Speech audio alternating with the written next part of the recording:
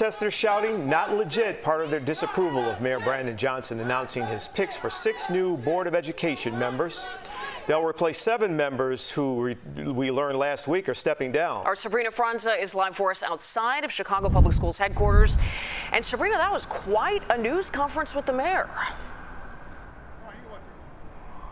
Jim Marie, it was at times contentious, an hour long question and answer session between the mayor and reporters. The mayor announced six of those seven appointees, and he emphasized that it is within his power to make these appointees, to put these people in these positions, while also saying that he was doing this justifiably, regardless of those who have criticized him, saying this is an abuse of his power.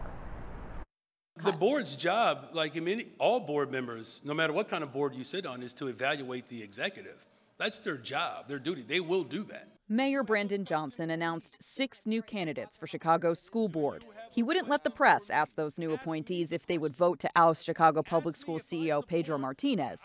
Amid reports, the mayor asked him to resign days before the current seven members resigned in mass on Friday. You can ask that once they are appointed.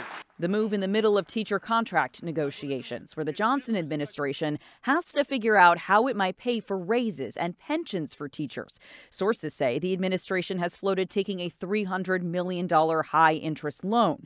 The current CPS CEO opposes that idea. We have not seen the plan or dedication from the corporate leaders at CPS, but this board intends to make sure our schools have the tools they need to graduate and educate prepared citizens of Chicago. Some of the potential new members spoke following their appointments. They are Reverend Mitchell Johnson, environmental activist Olga Bautista, Michelle Blaise, chief of staff to a Cook County commissioner, community organizer Mary Gardner, Frank Niles Thomas, and Deborah Pope, a paid and now retired CTU organizer. We asked Mayor Johnson how the six were chosen. He denied that any of them were picked because of where they stand on that $300 million loan or on Pedro Martinez. Are you saying that there's nothing that's currently happening, whether it be teacher negotiations or this ongoing back and forth with Pedro Martinez, that influence the decisions? This is solely made based on a transition plan that was released before you became mayor of the city. Yes. My vision. Do you believe me?